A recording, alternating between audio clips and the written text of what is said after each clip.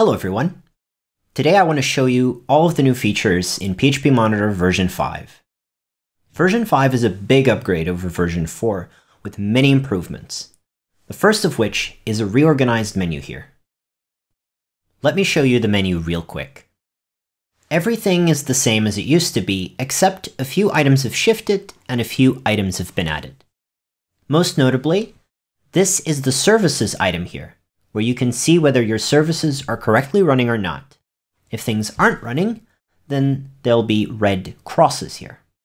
In fact, let me show you. There's a new First Aid and Services menu item where all of the services functionality has been moved to.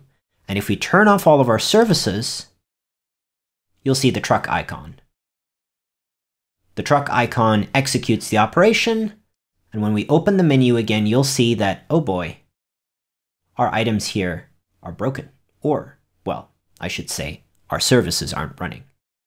If you see this, you know you can go to First Aid and Services and hit Restart All Services. That should usually fix the issue.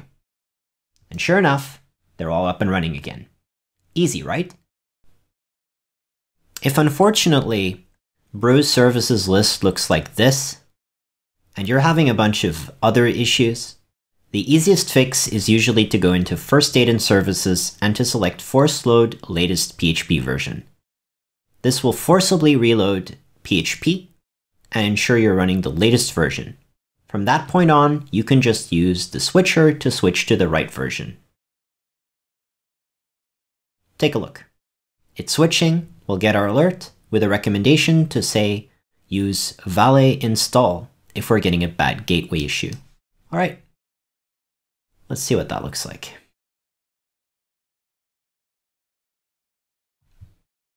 Okay, you had to give it a little bit of a moment, but sure enough, here's our PHP 8.1. And again, from this point on, we can switch back to 7.4, but let me show you those services are fixed. And sure enough, we're only running the latest version of PHP. Let's switch back to 7.4. Please note that there's no notifications right now because I'm recording. Run it again, and we're on 7.4. Again, confirm, 7.4. Let's go back to 8.1. And we're back on 8.1. Easy, right? You know what would be easier? If we could invoke Alfred to make this happen. And sure enough, we can. Let me show you. If we have Allow Third-Party Integrations selected in the Preferences menu in PHP Monitor, we should be able to use this. Alfred. We can easily switch to a specific version by entering it here and PHP Monitor will listen for these commands to happen. Back to 8.1. If you're coding and you're just using your keyboard, this can be really helpful. No need to pick up your mouse to get these things done. If you've been using PHP Monitor since version 4.1, you know that there's this thing called the linked and parked domains list. Opening it up shows you this. It's basically a list of linked and parked domains. What's cool about this is that now you can also see which version of PHP is required for a particular website. What happens is, check it out. PHP Monitor scans your composer file and checks it. If the platform is set, then it'll extract the version from there. And if it's set as a require, it'll fetch it as a requirement. The platform is the preferred option. So if you have the platform set, it's able to get a specific version, like 8.1 in the case of my own website. But for this other website for a family member, I didn't specify the platform version. In that case, we're checking the require object in the composer.json file, and we have determined that we need version 8.0 with a caret here. This is a specific syntax that is interpreted by PHP Monitor and will also allow PHP Monitor to suggest what version to switch to. So in this case, since we're requiring 8.0 or any minor version of that, it's going to suggest switching to 8.0. Not needed right now, but it's helpful. Actually, let's switch and see what happens. When we switch, you'll note that this list gets immediately reloaded. It was lightning fast, you could barely see the spinner appear. But what you do notice is that the two check marks that were here before have disappeared. These check marks indicated that the sites were compatible with the current version that we're running. And since that's no longer the case, let's switch back to the version that they require by clicking on the button and then selecting the version we want to switch to. Easy. Okay, what else? Well, there's this plus button, and I'm going to show you what that does. So this plus button allows us to quickly add a new site to this list. We'll link a folder, basically. To do that, we'll need to select the folder. So let's go for Concord here. It's a Laravel project I made. Let's hit open. And then we'll get a little nice window here that gives us a bunch of options. Let's start with this one. What do we want the name of this domain to be? And we can see what it's going to look like. Well, I want it to be Concord app or Concord-app. Um, yeah, and I'd also like to secure it. Thank you very much.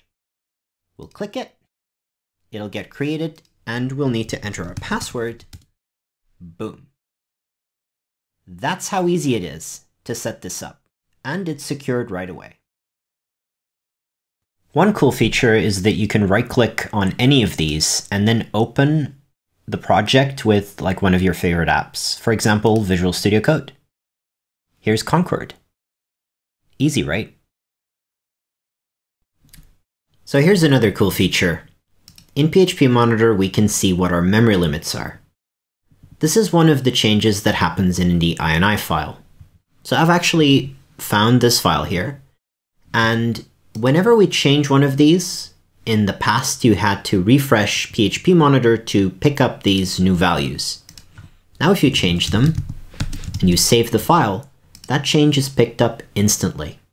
This also applies to whether plugins are active or not. So if we disable Xdebug, it can be disabled or enabled through the file and it's instantly picked up as well.